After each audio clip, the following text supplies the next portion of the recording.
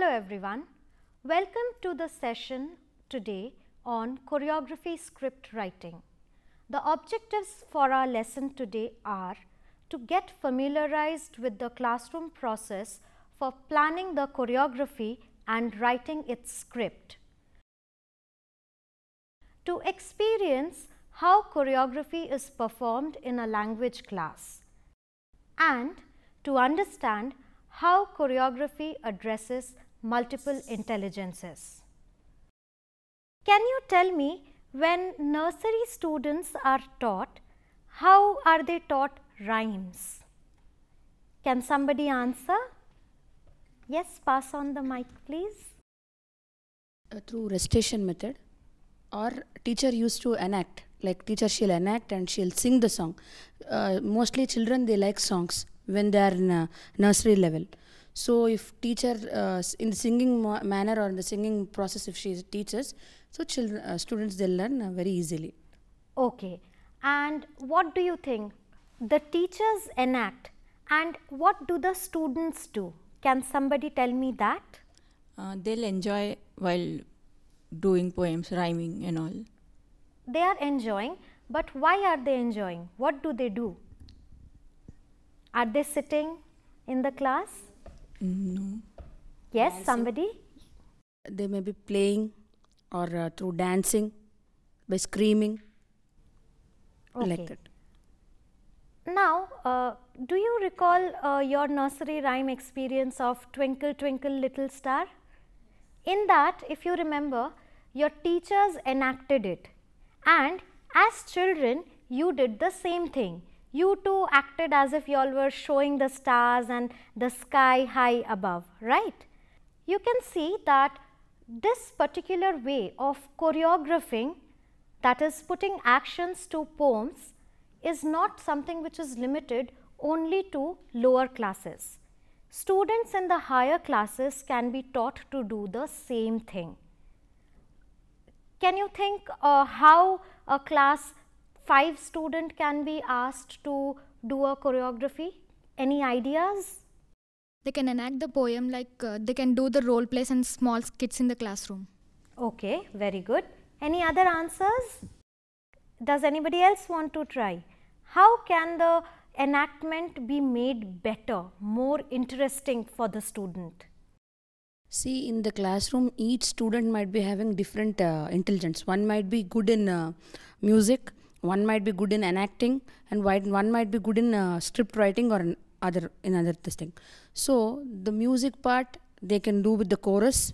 The dancing uh, they can act and they can dance like how the poem is there, and uh, who is good like who can. Uh, talk very good like correct uh, pronunciation and all they can sing that uh, poem Yes, as you have correctly mentioned, all the different types of intelligences need to be taken into consideration even when dealing with class 3 to 5 students.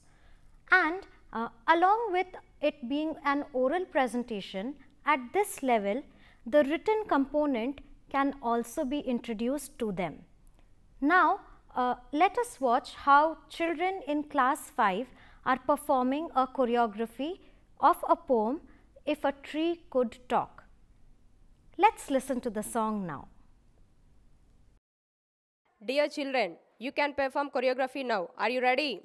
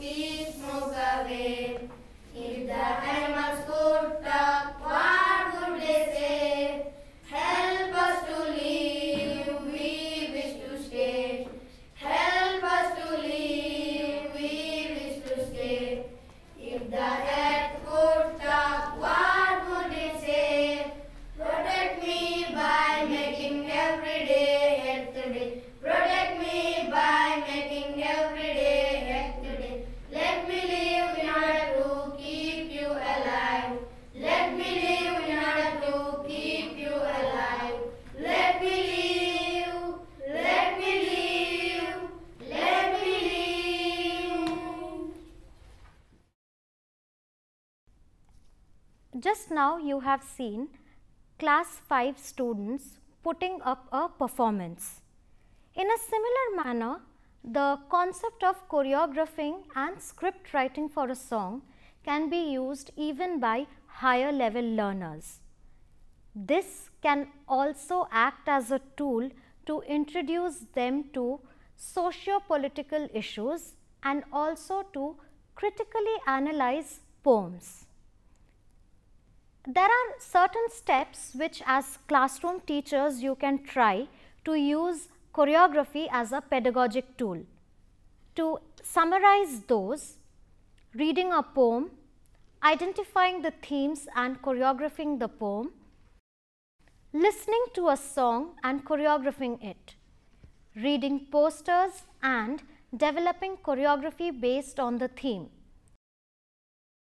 identifying social issues, writing posters and slogans on these and developing choreography based on the theme. Following this order, it will be a very interesting activity even for higher level learners to get introduced to the notion of choreographing and script writing.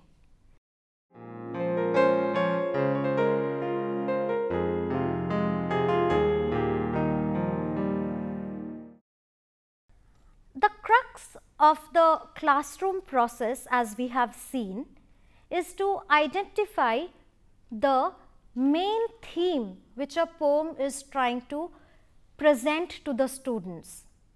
Along with the main theme, certain sub themes which form a part of the text can also be elaborated upon by using choreography and the method of script writing. This in turn can be expressed, can be presented by the students through a rhythmic movement in a manner of play acting. Here is the text of a song that has been processed for choreography script writing. As in the case of other texts, in this case the poem also needs a theme based interaction. Let us watch the classroom clipping and see how the teacher undertakes this particular lesson. Hello students, what message do you get from the picture? Yes? The cry of a girl child. The cry of a girl child. Anything else? Yes? The girl child has no freedom. The girl child has no freedom. What could be the reason for her pains? She is cruelly treated by the society. She is cruelly treated by the society. Good. Well, you have just seen how the teacher conducted the class. Now, you will see that this particular aspect has been followed up by the teacher by introducing an oral discourse as well. Let us see how that is presented by the students. In our society, the girls have less freedom. She is oppressed in several ways. This makes the girls feel insecure. You have just seen how the teacher has conducted the class. What do you think can the learners now do to take the lesson forward? What the learners can do is they can read the text individually and then share their experiences of their understanding with the rest of the class. In this way, each individual will get a chance to talk which will help to improve their speaking skills and also listening to others talking will help to improve their own ideas, the thoughts which are coming to their mind based on the theme of the poem given to them for the choreography script writing. A cage is being set for me. It frightens me. It haunts me. Should I be untrue? Should I be unreal? They say I am a girl. Where can I bury my thoughts? Where can I take shelter? Should I be a rock? Should I be lifeless? They say I am a girl. Why is the world after me? Why is the girl cursed? Should I be blind?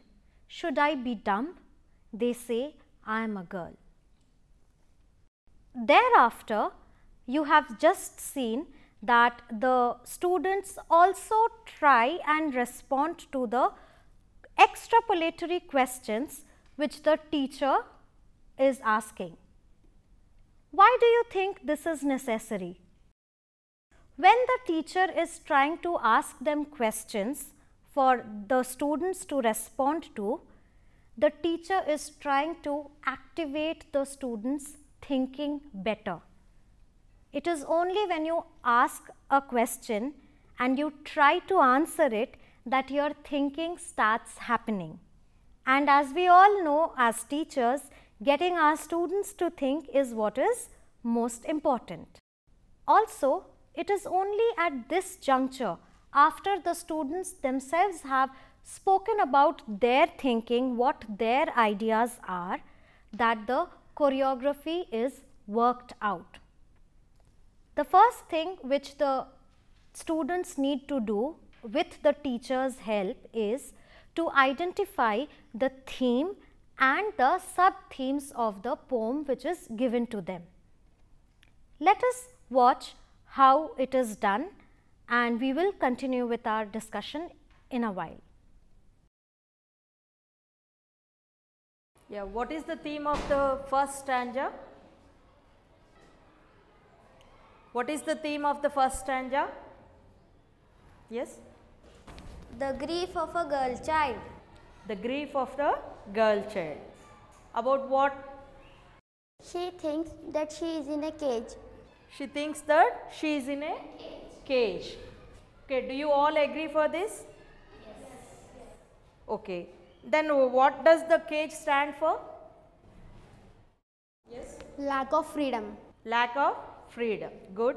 Then who can clarify this idea? Look at the poem. Yes. The line should I be a rock suggests that she should not react to anything. Okay. Anything else? The line should I be unreal, all this. Okay. So, here also should I be a rock, should I be lifeless. Okay, good. Uh, what is the theme of second stanza? Group 2, what you have written? The girl's fear and anxiety of being insecure. The girl's fear and anxiety being insecure.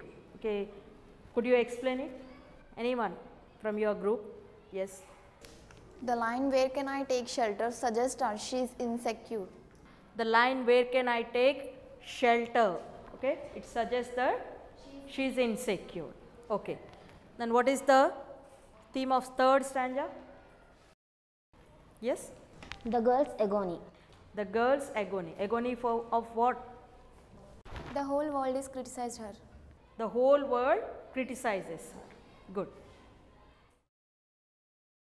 You have just seen how the teacher facilitated the thinking and the talking process among the students. Each and every student was given a chance to try and express their thoughts. Some students could, some found it a little difficult. But as we all know, it is perfectly fine for the students to not be able to answer. It's not really a big problem. Now, the next step is to identify instances from real life situations which the students can relate to the theme or the sub theme which is presented through the poem given to them. Let us continue watching the classroom video. The theme of the first stanza is the grief of the girl child as she has lost freedom. Okay. Can you suggest any incidents from the real life? Yes. The mother scolds the girl as she comes home late, but she does not scold the boy who does the same thing. Yeah. When girls come late, mother scolds the child and when the same thing is done by the boy, they do not scold. Okay. Uh, any other incidents? Yes. Two boys are playing cricket. The, uh, the girl joins her. Her father happens to see this and scolds her. When the boys are playing cricket in the ground, if girl want to join them, generally parents they do not allow the girl. Okay. So, we have identified two instances from real life where the girl feels that she is insecure. Okay. The mother scolds the girl as she comes home late, but she does not scold the boy who does the same thing. And when two boys are playing cricket and the girl joins her, her father happens to see this and scolds her. She goes home crying. Okay. Now, where does this uh, first incident took place? Yes? At home. At home. And what about the second incident? Yes. In the ground. In the ground. So, whether it is in home or outside, she feels the same thing. Now that the themes and the sub themes have been identified, the next important aspect is to try and find out the location of where the action is taking place. The first location of the action is the home and the second is near the playground.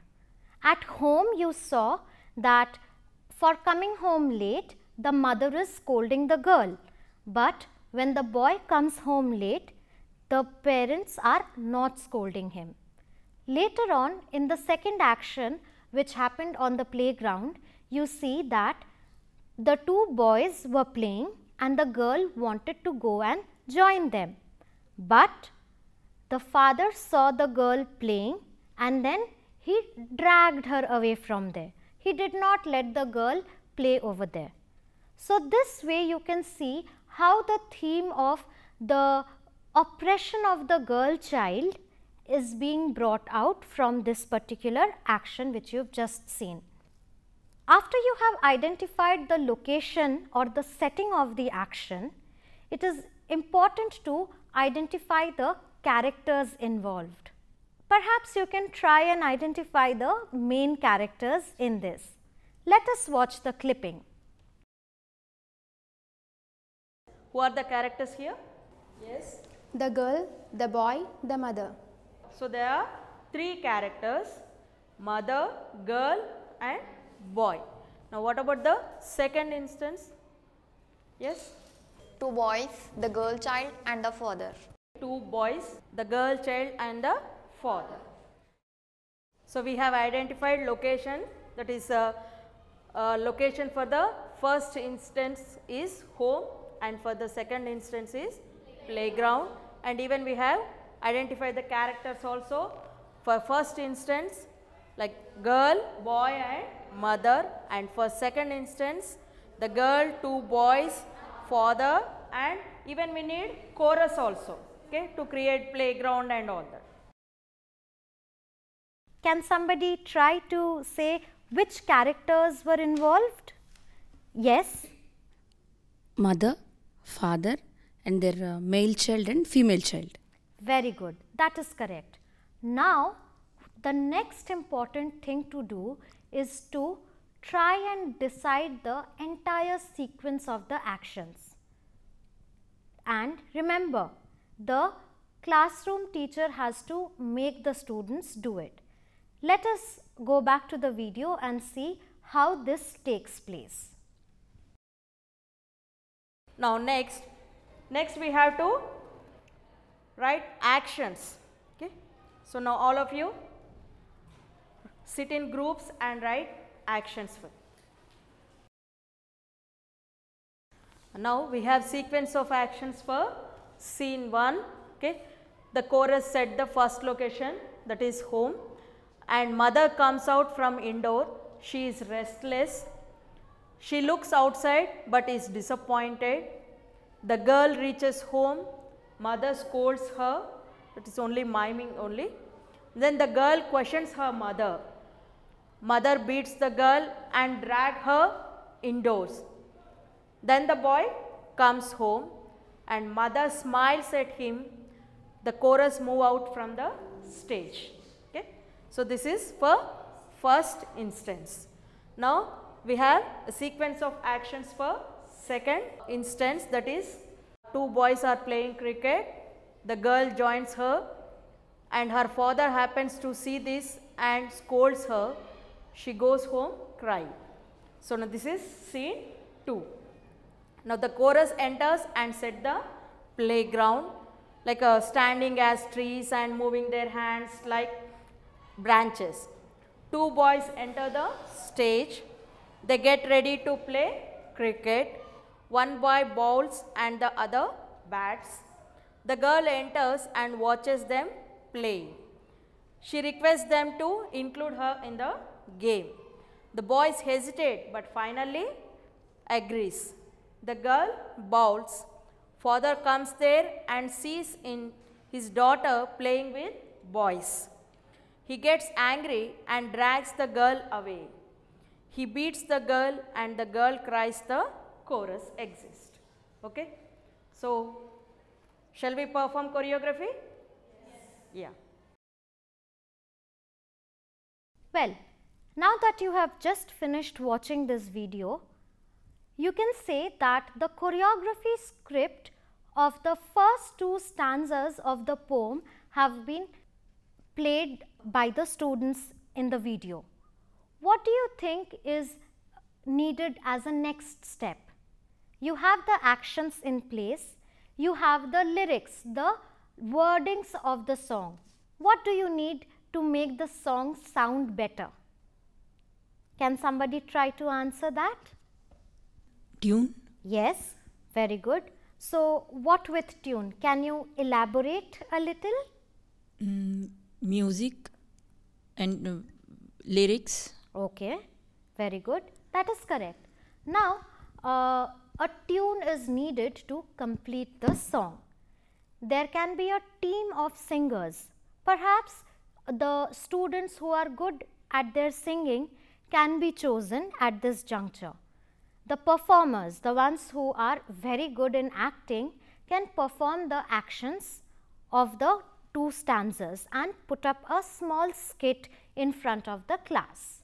Let us watch how the children are performing this particular choreography.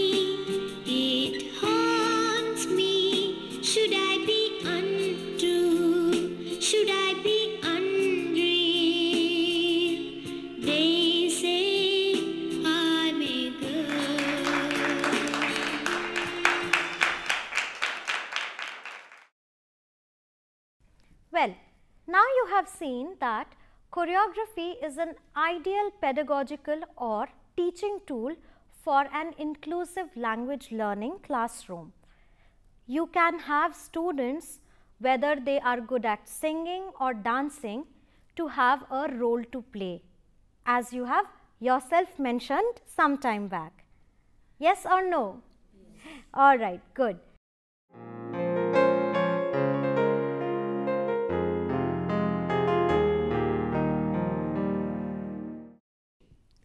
Traditionally, we have seen that in most cases, schools tend to focus either on the mathematical ability or the language ability of the students. But today we know differently. It is a well established fact that there can be intelligences which a student exhibits even beyond these two types of intelligences the focus is no longer only on reading, writing and arithmetic. It has moved beyond that. While many students function well in that kind of an environment, there are others who need to be given more chance to explore other things and other spheres of their intelligences as well. It is in this backdrop that today we will know about Howard Gardner's theory of multiple intelligences. Gardner argues that intelligence, particularly as it is traditionally defined, does not sufficiently encompass the wide variety of human abilities.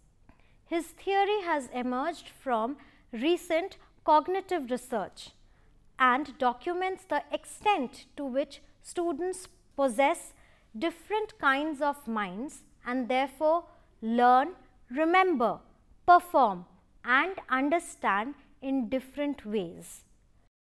To quote Howard Gardner, we are all able to know the world through language, logical mathematical analysis, spatial representation, musical thinking, the use of the body to solve problems or to make things, an understanding of other individuals and an understanding of ourselves. Where individuals differ is the strength of these intelligences, the so called profile of intelligence. And in this way, in which such intelligences are invoked and combined to carry out different tasks, solve diverse problems and progress in various domains. The idea of multiple intelligences comes out of psychology. It's a theory that was developed to document the fact that human beings have very different kinds of intellectual strengths and that these strengths are very, very important in how kids learn and how people represent things in their minds and then how people use them in order to show what it is that they've understood. If we all had exactly the same kind of mind and there was only one kind of intelligence, then we could teach everybody the same thing in the same way and assess them in the same way, and that would be fair. But once we realize that people have very different kinds of minds, different kinds of strengths, some people are good in thinking spatially, some people are good in thinking language, other people are very logical, other people need to do hands on, they need to actually explore actively and to try things out. Once we realize that, then a education which treats everybody the same way is actually the most unfair education because it picks out one kind of mind, which I call the law professor mind, somebody who's very linguistic and logical, and says, if you think like that, great. If you don't think like that, there's no room in the train for you.